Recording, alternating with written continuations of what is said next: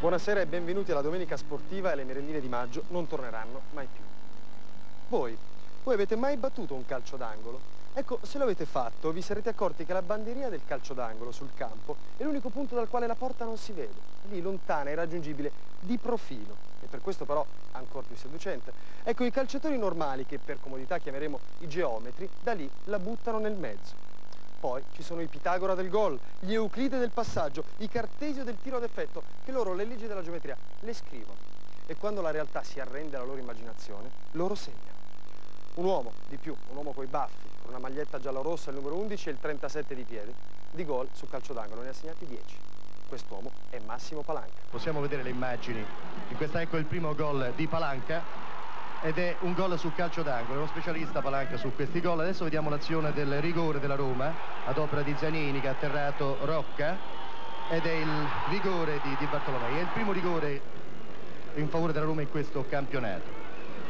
Ancora un errore di Spinosi ed ecco Palanca che è stato prontissimo a mettere in rete a punire Conti con questo tiro violentissimo sulla sinistra. Ed ecco ancora Palanca al secondo, al secondo tempo, aspetta l'uscita di Conti e l'uscita. È la terza rete. Buonasera Palanca, grazie di essere intervenuto. Buonasera a tutti. Grazie mille. Senta, cosa ricorda di quel pomeriggio, di questa tripletta all'Olimpico?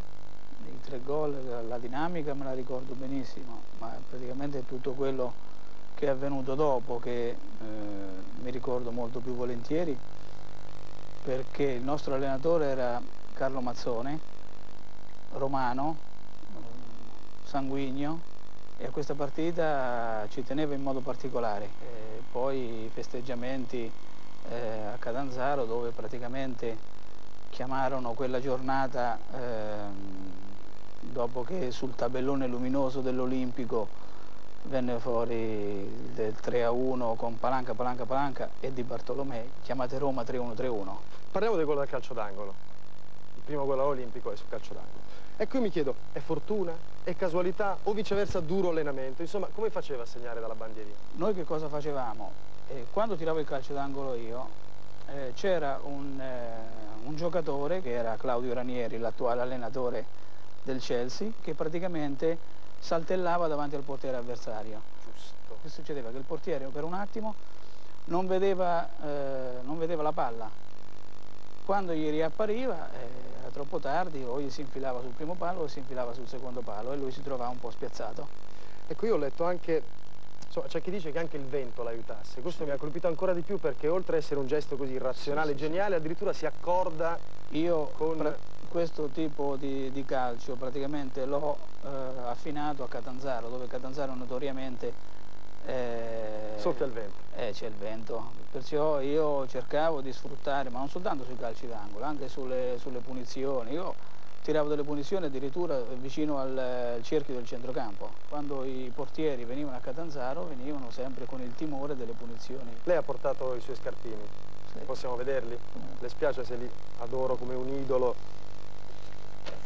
Ecco, abbiamo gli scarpini di Massimo Palanca, numero 37 quelli con cui calciava questi fenomenali calci d'angolo. Non sono proprio quelle. Non sono proprio perché... quelle. Eh, eh. Però possiamo notare, possiamo notare che sono effettivamente molto piccoli. Qualcuno avesse dei dubbi, in realtà sono effettivamente piccoli. Ha qualche altro cimelio nella... Sì. Vediamo. Ho una maglia, questa è la maglia a cui tengo in maniera particolare numero 11 naturalmente. Questa è straordinaria. Perché questa è la maglia... Ma è lana fuori cotone sulla pelle? Non lo so, no, non, proprio, non, penso che... Questa... È irritante questa proprio, cioè a fine partita sei tutto viola perché sei Effettivamente sì.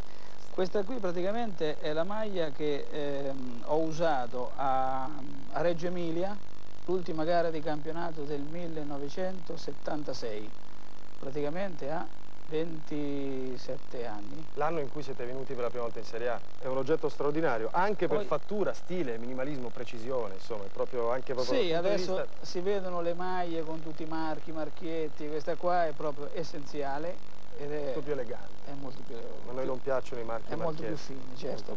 Io vorrei rivedere adesso di nuovo questo gol sul calcio d'angolo, un attimo, perché poi devo fare una proposta.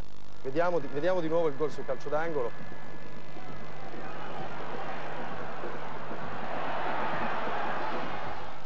Allora, abbiamo ricostruito fedelmente la situazione. C'è un calcio d'angolo a favore del Catanzaro. Ranieri sta davanti al portiere per dargli... Chi era il portiere della Roma in quell'occasione? Paolo Conti. Paolo Conti. Palanca che sta sull'ala sinistra. Non hai baffi. Fa niente. Vabbè, fa niente. va a battere il calcio d'angolo. La difesa della Roma molto arcigna e schierata. Eh, Hai bisogno del vento? Insomma, non è il massimo, però. Eh, la schieriamo meglio, scusa. No, no, va bene, va Lasciamola bene. così, è più Sì, facile. sì. Vuoi il vento? Perché a Roma non ce l'avevi, però ti diamo una mano. Va bene. Allora, tu quando, sei pronto a battere? Ti do un consiglio. Per alzarla su buteo è più comodo farla così, capito? Qui la colpisce da sotto. Vediamo che succede. Proviamo a fare un po'. Devi provare a fare l'effetto. Io comunque col vento ti aiuto, eh. Aspetta, eh, vado col vento? Sì, ma se tu soffi qua, la palla va ok, di là. Ah, giusto. Soffio da questa parte. Fallo laterale. Vabbè. Allora, la prossima volta ci alleniamo un po' meglio perché visto che comunque la carriera da calciatore è finita. Fai un campo un pochino più grande e usiamo i piedi, che è meglio. Ok, allora ci Eh. vediamo la prossima volta usando i piedi. Ok, Grazie, grazie a te. a presto.